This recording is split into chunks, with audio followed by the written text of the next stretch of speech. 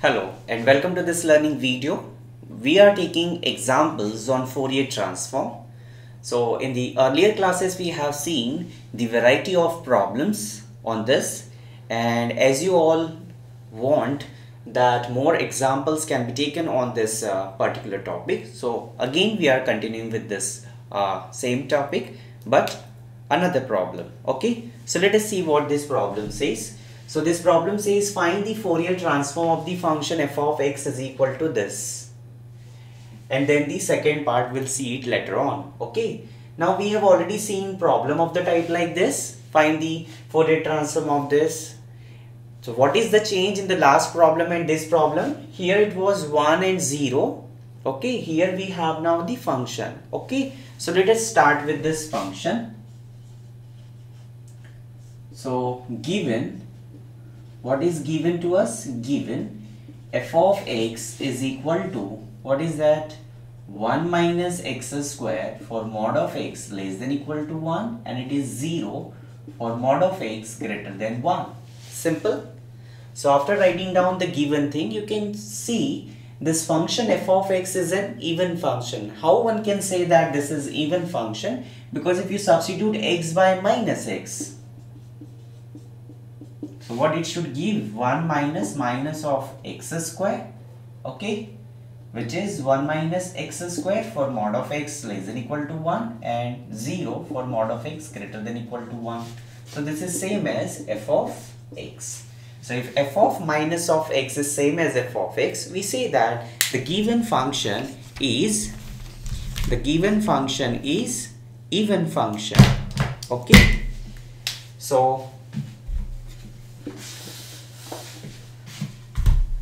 we can write as as f of x is an even function is an even function then then what? The Fourier transform is same as Fourier cosine transform. Then Fourier transform is same as is same as Fourier cosine Fourier cosine transform. Clear? Now we have the function f of x and we have to find out Fourier transform to be precise Fourier cosine transform because the function is even. So let us start with Fourier tra cosine transform. So let us start with those golden words in mathematics. We know that the Fourier cosine transform Fourier cosine transform of f of x is what is it? Do you remember the notation and the definition? That is Fourier cosine transform of f of x which we will denote it by Fourier cosine transform which is fc bar of s is nothing but under root 2 by pi integration 0 to infinity f of x into cosine of sx dx.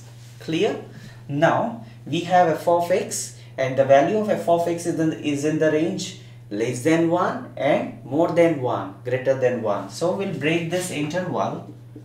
We'll break this interval 2 by pi as integration 0 to 1 f of x into cos sx dx plus 1 to infinity f of x into cos sx dx Clear? Any doubt up to this? Now you just have to substitute. So what you gonna substitute here is under root 2 by pi integration 0 to 1. What is f of x? 0 to 1 means this is the range 0 to 1 less than less than equal to 1. Says 1 minus x square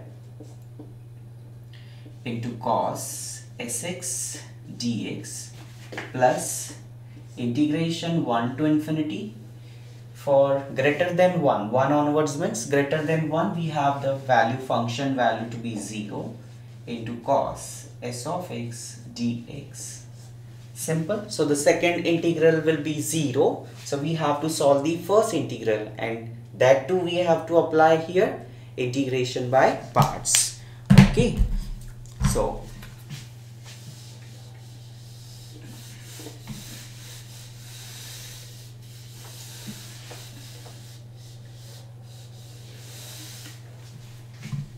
So,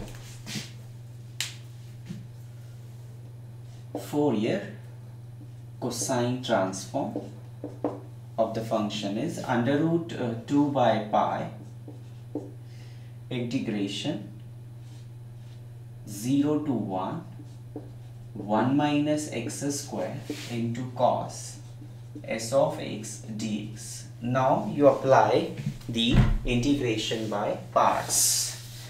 So if you apply integration by parts, the simple one, then you have to apply it twice. But the formula that I have already shared with you, if you remember that formula, you can write this integration in a single line. So I'm using that uh, single line formula to save uh, lots of time. So this is uh, 2 by pi, okay.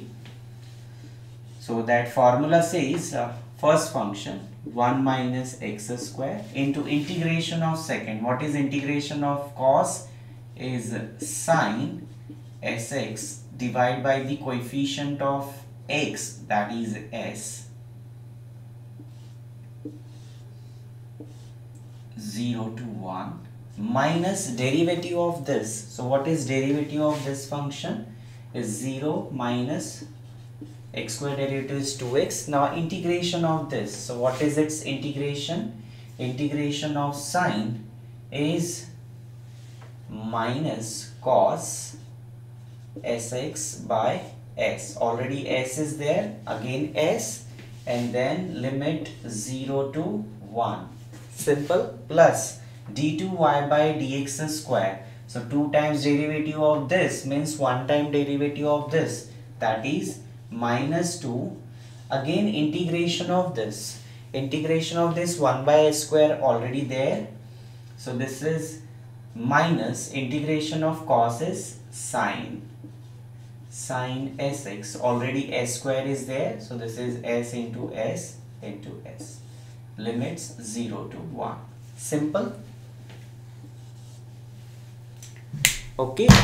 Now apply the upper limit minus lower limit. So this is uh, f Fourier cosine transform is uh, under root 2 by pi. Now look here. The moment you substitute here 1 so x is equal to 1 1 minus 1 that's 0 okay into anything 0 so upper limit will contribute to 0 minus minus lower limit. Lower limit is 0. So this is 1 minus 0 square is 1. And this is sine 0. Sine 0 is 0. So upper limit minus lower limit will contribute to 0. Now here you can see this minus into minus plus and this minus. So this is minus. Okay. Now uh, I will write this uh, to uh, s square 2 by s square so what is upper limit? Cos 1. So this is cos s minus 0 into anything? 0. Okay, 2 by s square I am taking as common and applying the upper limit. So x is 1 x is 1 so 1 into cos s this is cos s minus now lower limit 0 into anything 0 so this is 0 simple. Now this minus into minus become plus. So this is 2 by s cube into apply upper limit. So this is sine s minus sine 0 is 0 okay. So this completes the upper limit minus lower limit.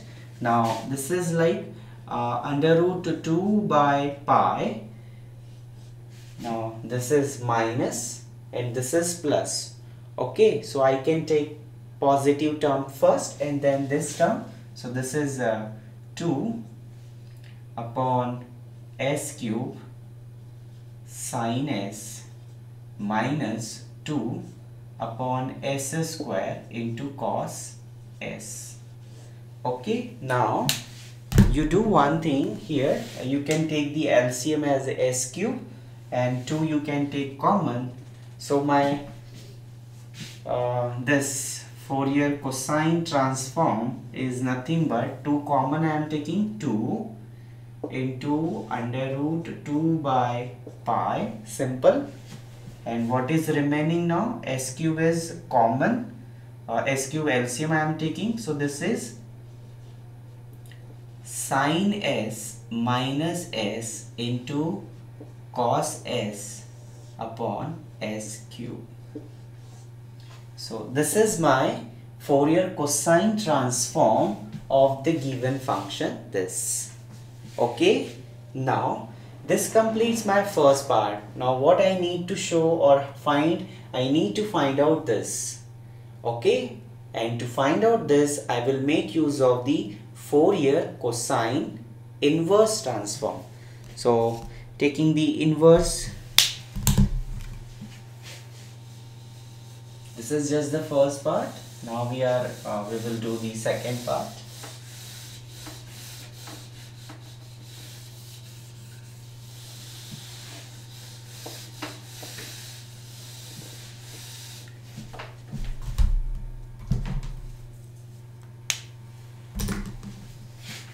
Now second part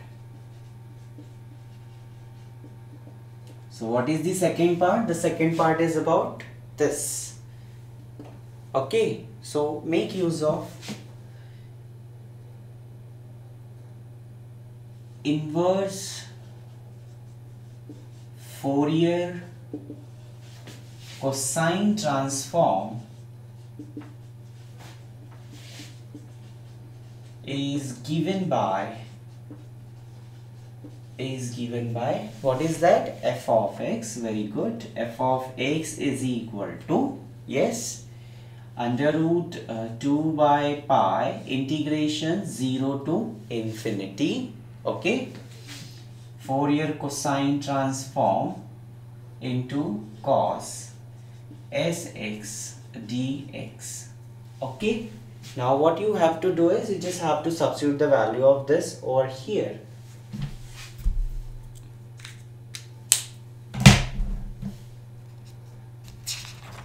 Pen are not working. Okay.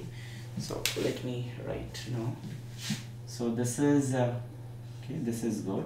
Under root 2 by pi integral 0 to infinity. This value is under root 2 by pi 2 into under root 2 by pi then we have sine s minus s cos s upon s cube ds okay into cos s ds sorry into cos sx ds simple. So what I have done, just pick this value and substitute over here, you'll be getting this. Now this should be 2 into 2 by pi, 2 by pi is 2 by pi, under root, under root get cancelled. This is integration 0 to infinity. Then uh, here it is uh, sine s minus s cos s upon s cube into cos sx ds okay? Now what is my f of x here? You can just write down your f of x. So the given f of x is what is it is 1 minus x square for mod of x less than equal to 1 and we have the value 0 for mod of x greater than 1 simple. So this is what we have now. Okay what you can do is at the most if you have stuck somewhere that you cannot able to solve the problem so you just think like uh, what we can do at the most. So at the most we can just uh, do 2 2s are 4 4 pi and we multiply it over here so you will be getting it say 1 minus x square into 4 pi into pi by 4 for mod of x less than equal to 1 and it is 0 for mod of x greater than 1 is equal to is equal to integration 0 to infinity sine s minus s cos s upon s cube into cos sx ds. Simple. Now what you can do over here is uh, we want uh, you can see we want uh, cos x by 2 right? So what you can do is you can just put x is equal to 1 by 2 okay? So I am now substituting x is equal to 1 by 2 so put x is equal to 1 by 2 we get. Okay now the moment I am saying x is equal to 1 by 2 so 1 by 2 comes under mod of x less than equal to 1 so I will be taking only this value. Okay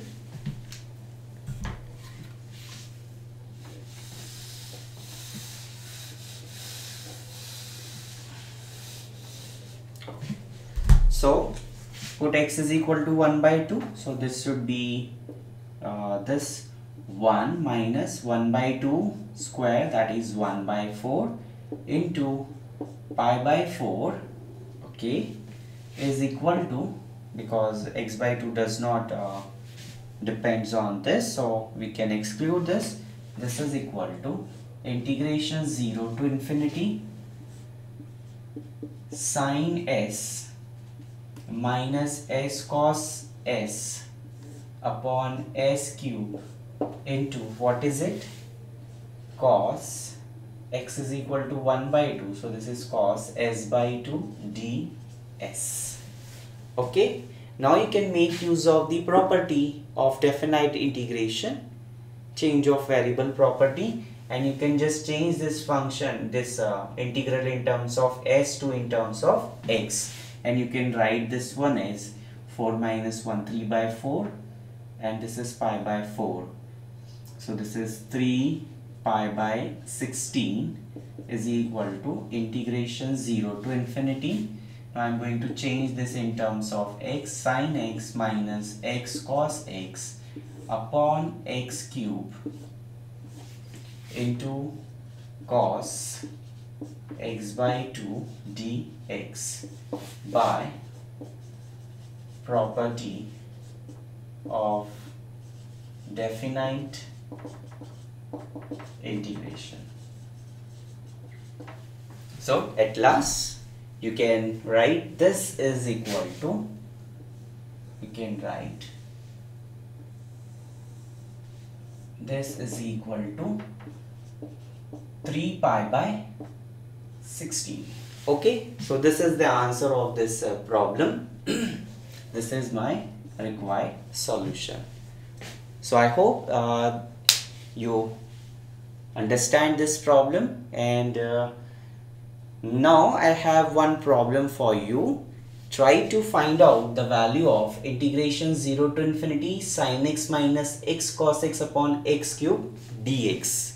Okay, so you have to manage this term. So that would be uh, the thing that I wanted you to find out. Find, find using this solution, find out integration, find out the value of integration 0 to infinity. This dx is equal to what?